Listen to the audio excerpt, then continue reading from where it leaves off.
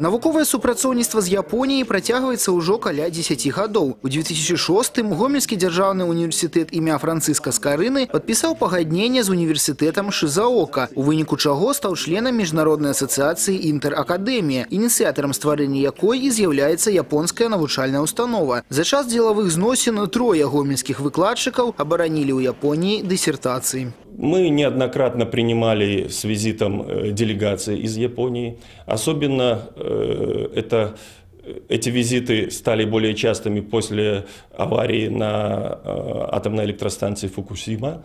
Японские коллеги знают, что в Беларуси и в частности в Гомельском университете есть богатый опыт исследований последствий аварии. Авария на Фукусиме стала несуцяшальнай кропкай адліку новай гісторыі краіны. Перад японскімі вучонымі паўстала заканамернае пытанне, як мінімізаваць наступствы цяжкай аварыі. Невыпадкова, што за адказам звярнуліся да гомельскіх калег. Чарговы візіт гэта не проста магчымасць атрымаць новыя веды, але і паназіраць, як сёння выглядаюць пацярпелыя тэрыторыі. Да таго ж вельмі важна даведацца аб тым, якое вырашэнне праблемы бачыць сучаснае маладое пакаленне. Для нас этот визит визит имеет колоссальное значение. Мы знаем, что у белорусских коллег можно многому научиться. К тому же нам интересно узнать мнение молодого поколения. Мы считаем, что этот дискус со студентами Гомельского университета позволит выйти на новый уровень в решении проблемных вопросов загрязненных территорий.